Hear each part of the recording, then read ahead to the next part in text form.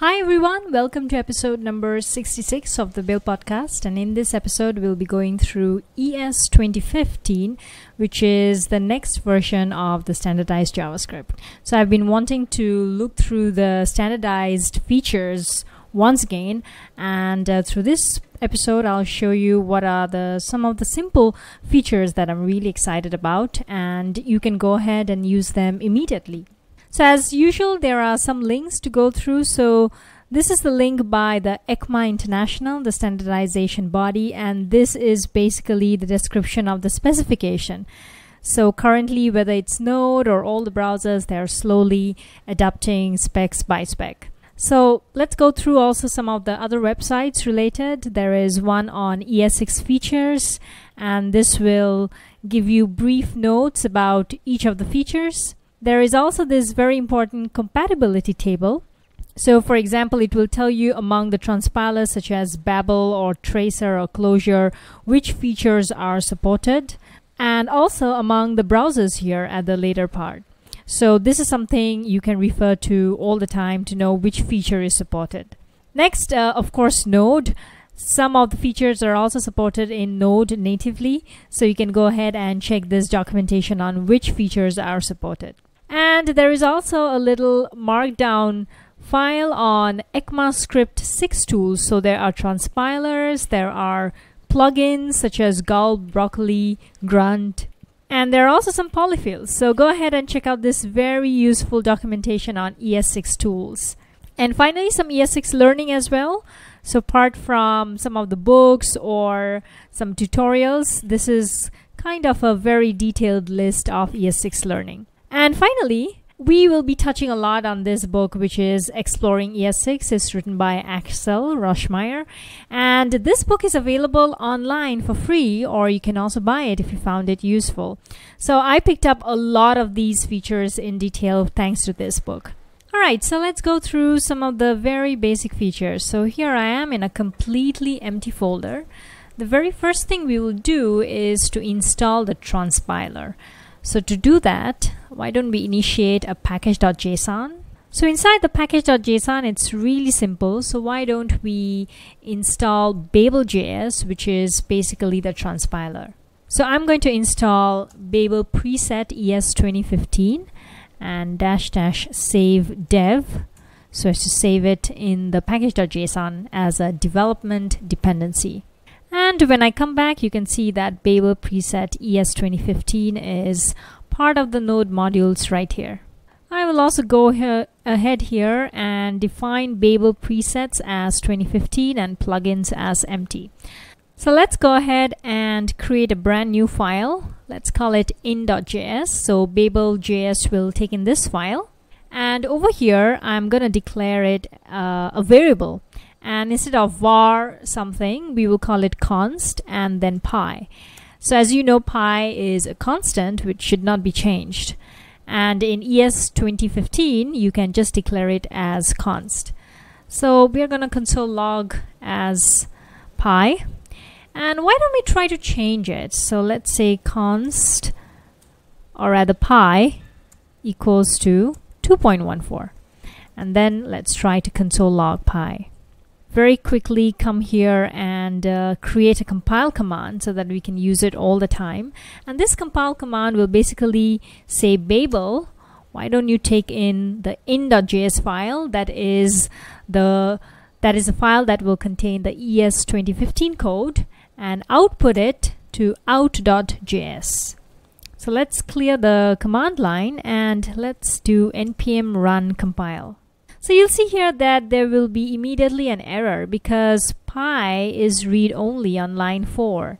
And we come back here, it will say, yep, line 4. So why don't I just comment it out? And then let's try to compile it. Looks like it's working. So you can see that in.js is const pi, console log pi, and out.js is pretty similar. In fact, uh, if you notice that uh, underneath const it is actually using variable. Just that Babel is catching it so that this var is not changeable.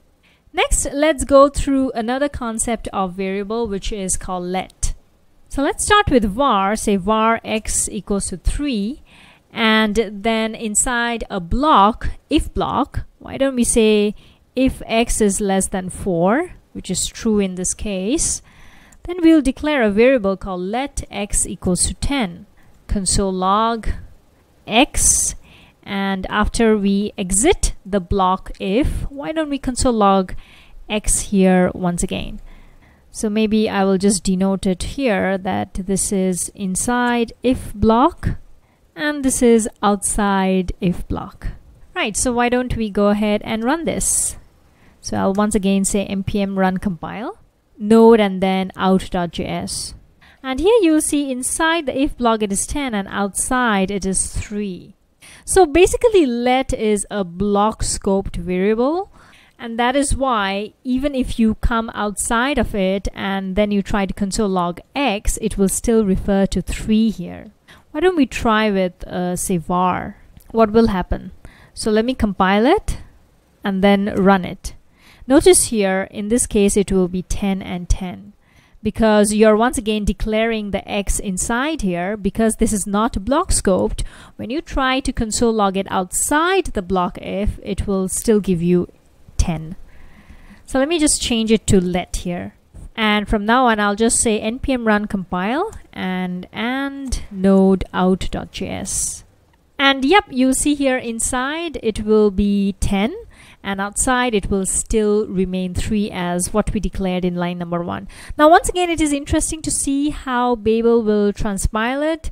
As you can see it will do an underscore x meaning to say it will declare a totally new name for it and that's how it differentiates the block scope versus the non-block scope x here. The next concept that we'll go through is something to do with notation which is say binary, octal or hexadecimal and it is very very easy to denote them. So to denote a binary all you need to do is 0b for binary and then let's just write some binary numbers. Why don't we run it?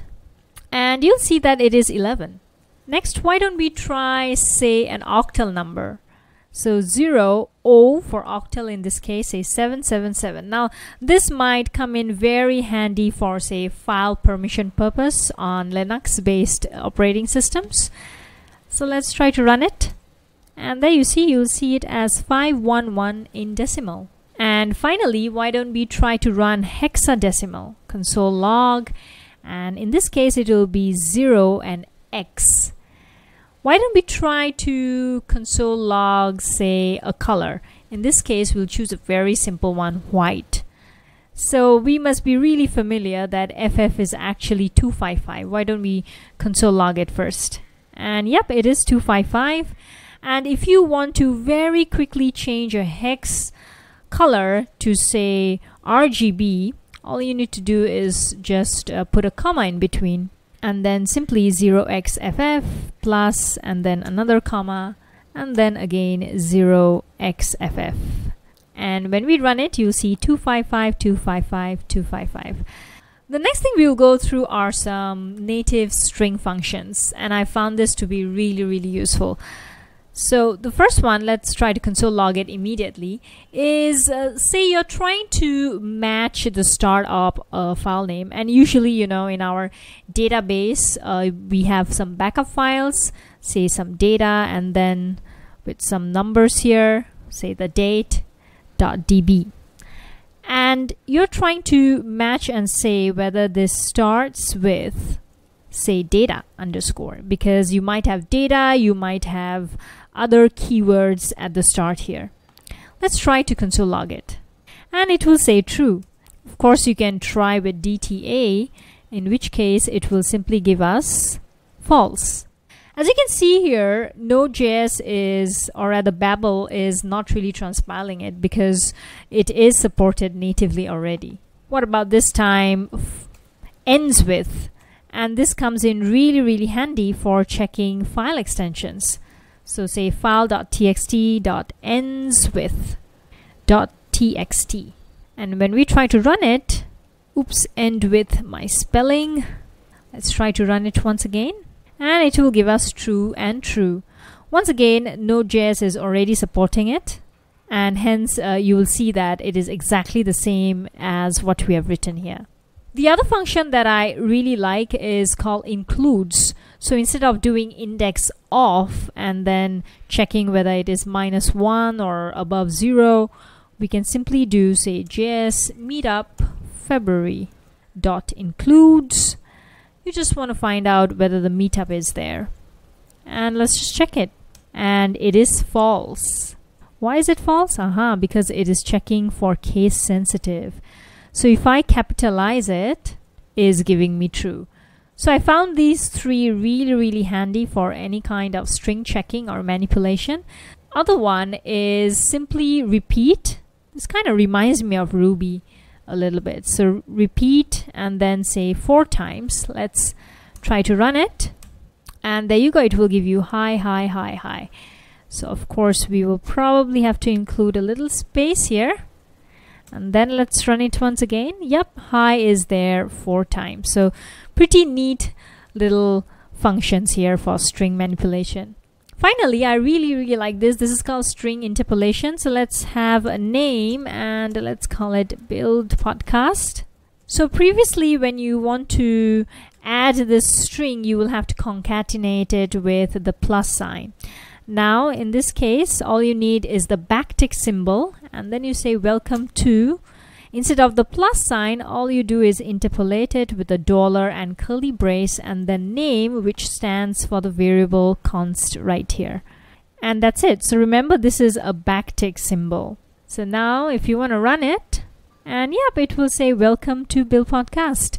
Next, we'll go through something called destructuring, and this is really helpful to kind of compact your code. So let's go through a very simple function, and in this case, the function will just return an object. And this is pretty common in many of the functions we do. It has an object with a key and value pair. So let's do first name and then last name, and then we will have it a role as well, developer. And then let's uh, kind of get the results in a const. So const profile equals to get info. Now usually what we'll have to do is uh, instantiate three different variables and then get the three values over here. But in this case, there's a really short form. So we'll do const again for the three variables. But in this case, we'll just write it in one line. Say first, which is variable one, second, and third and then we will say profile. So with this one line instead of writing three lines var first equals to profile dot first var last equals to profile dot last this is a very compact way of writing. Now why don't we try to console log it?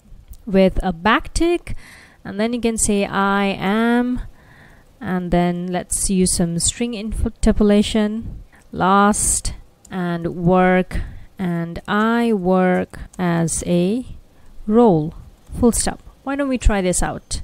And there you see I'm Jane Doe and I work as a developer. Next we will do something very similar but instead of an object we will make an array. So in this case let's make another function which will also return but instead of an object it will return an array. So say get list and it returns say apple brinjal and caramel. And similarly we will get these values inside a const and then we'll call it food equals to get list. And then finally with destructuring we will create three variables and in this case it will be fruit say vegetable and dessert.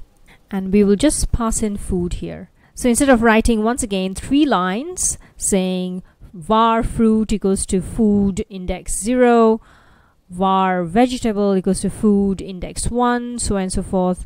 We can just have it in one line which is much more readable and much more compact. Why don't we try to do a console log once again? Full stop. And let's try it out. And there you see I love apple brinjal and caramel. Why was there a little space? Ah there you go. So let's run it once again. And yep this is a very simple destructuring. Next let's go through function parameters which has made things a little bit more useful in ECMAScript. So let's say we have a function called area and very simply it will just return height times width. And of course you will have to pass in height and width, right? So this is something we always do.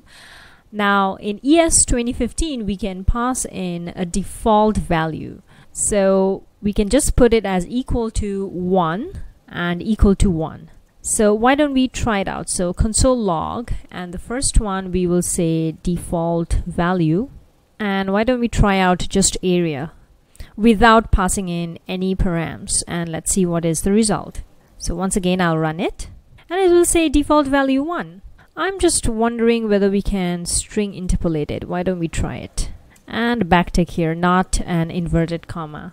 And there you see default value is 1. So of course if we change this to 2, 1 times 2 should give us 2.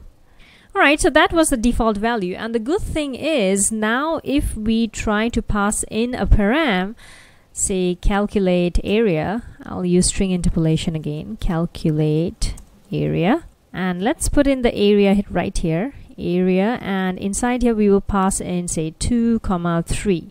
And now if we run it, there you see it will give us 6. So what happens if we put in only the first one, calculate area with height. So we will not pass in 3 here. So let me just move around a little bit. Okay, so here we are passing in no params, here one param and here two params. So let's see what happens. And there you see it will give us 4. That means it will take in 2 as the height and then it will use the default params 2 for the width. Next is something called the spread operator. So why don't we define say function fruits? And then spread operator you can just denote it as three dots and then names. So let's say you do not know the number of arguments. In this case let's just return names for simplicity. And why don't we try to console log? Console.log and in this case we'll just say fruits and let's pass in the first params which is say apples but remember, spread operator, we can pass in as many arguments as possible and it will just deal with it. So why don't we try in the second example two params, which is orange and pineapple. Let's try to run it. And there you see it will give you apples, orange and apple. Now once again it is always very very cool to look into the compiled code in the standard ES5 format and you'll basically see what's going on here. They are using the native arguments dot length to kind of check and this is what probably we would have done ourselves as well. And finally, why don't we try out with three params? So orange, apple, and say tomato. Right, so there you go. It will give you three, two, or one, depending what you need. Now the cool thing is some of the functions such as say the maths function. So in this case, let's try math dot max. You do not need to pass in just two. You can pass in a string of numbers. So say minus 10, 100, 2, 3, 4. And let's try to console log it. There you see, it will give us 3429. So whether we are passing in one argument or two arguments so let's cut off from 4 to 3 you'll see that they will give us 25 right here. So which is pretty cool. So once again we'll define a very simple array. Why don't we try something really simple? So let's define a function hello equals to array dot map.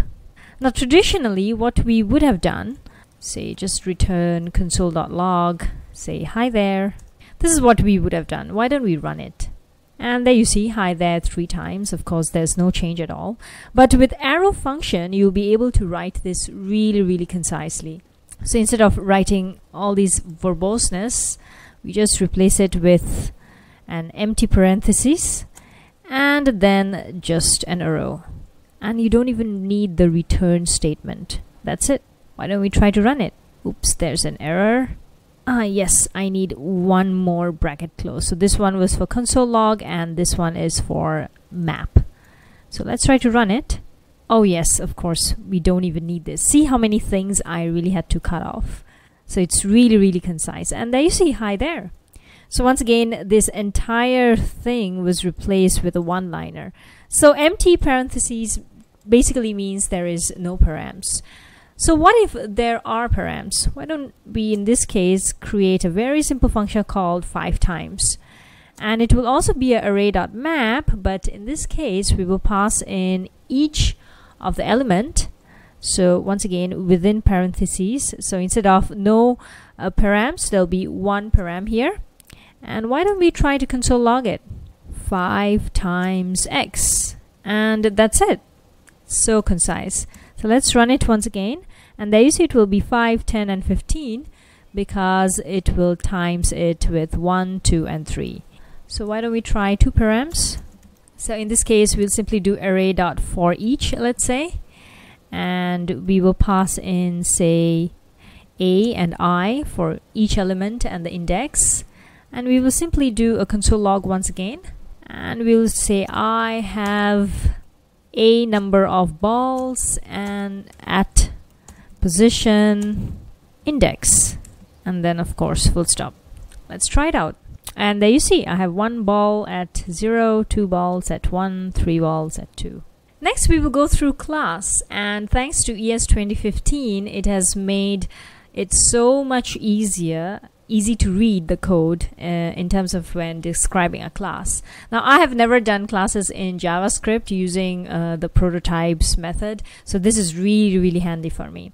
So why don't we define a class called person, and we will have a constructor in this case, which will basically instantiate it, and we'll pass in uh, two params, first name and then last name. And we will simply define it as this dot first name is equals to first name and then this dot last name equals to last name. And then let's define a very simple toString and which will simply return once again we'll use string interpolation first name or rather this dot first name space this dot last name. So why don't we try out this class? So we'll do var p equals to new person. This is how we will create and uh, let's call this person Igor Novak. And console.log and we'll simply call the toString function which is p.toString and there you see it's console logging Igor Novak but more importantly it is really interesting to see what is the out.js like so why don't we try out another class but this class will basically be a subclass of person. So it will basically extend from person. So why don't I call this class as neighbor and this neighbor will extend from person. And similarly it will also have a constructor in this case first name last name. But because it is extending from it it will also have a neighborhood and it will obviously take on the superclass in this case person and it will also use first name and last name this basically means that it will execute the constructor from the parent class. But apart from that, it will also take on the neighborhood equals to neighborhood. And then finally toString and it will return super dot to string plus from this dot neighborhood. So why don't we instantiate another person but this time it is a neighbor. So I'm gonna do a const neighbor person equals to new neighbor. And in this case let's call her Min and her last name is Ong and she's from Stockholm. Why don't we try to console log it? Np dot to string let's try it out and there you see Min Ong from Stockholm is coming from the neighbor class so once again, if you look at the output file, this is pretty complicated stuff, but this is what we would have done if we were to create classes in ECMAScript 5. So do go ahead and use the class. I found it really, really handy and concise. Next, we will go through something called the for, for off loop, which is really, really simple. So let's do let x and uh, just define x. And uh, in this case we'll just iterate through x. So say x off and then you can iterate through an array a comma b and we will simple simply console log it. Say x so this makes it really really uh, simple because we do not have to do the for loop and we can also avoid things like off by one error and there you see it will just console log a and b Next, we will try out some array functions. So I'll simply console log this and let's do array dot from and we will take a, a very simple array a comma b and we can get the keys out of it. So dot keys. Why don't we see what this returns? Sorry, it should be keys with the plural. And there you see, you will see 0 and 1 here, like so, 0 and 1 keys. So similarly, we let's console log another array function. So in this case, we will take in an array, say 6 comma minus 5 and then 8 and then we will try to find an element which is say less than 0 so in this case we will use the array function. So x refers to each of these elements and when x is less than 0 and there you see it will give you minus 5 so in this case it is basically giving us the first element which is less than 0 because if we put in minus 8 it will still give us minus 5 next this is something really really useful. So I'm just going to use the same array right here and this will basically find us the index index when x is less than 0 Let's try to console log it and try out. And it will say 1. So once again, 1 is the index where it is for the first time less than 0. And lastly, we will go through something called dot fill. So say var array equals to new array 3 dot fill it with 7. Let's see what happens. If you do a console dot log of an array, you'll see that it will basically create an array which has three of them and each of them are seven so this is very very useful for us to instantiate an array so let's say you want to create uh, an array of one dimension 10 of them and fill it with zero some kind of matrix initia initiation so this is really really easy to initiate something next let's try out about uh, a new data structure called map so I'm going to define say a config equals to new map. So just like we have string and array, ECMAScript 2015 supports map. Map is basically a key value pair. So let's try say URL. This is something you might write it for your config. And similarly, I will also define something, say type. Why don't we try to console log this and see what we get? Console log config.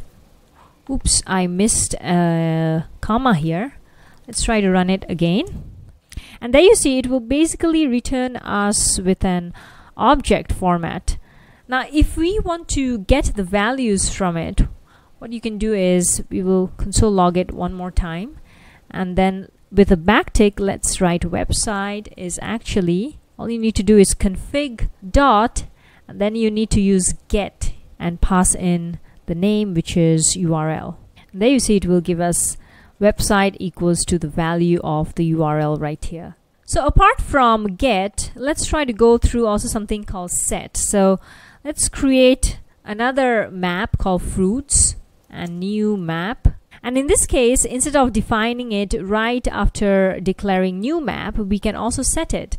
So we can say new maps or we can do fruits dot set and we can do one comma apple. So why don't we try to console log fruits? And there you see you will see another type of map where one and then apple. But just that here we are setting it.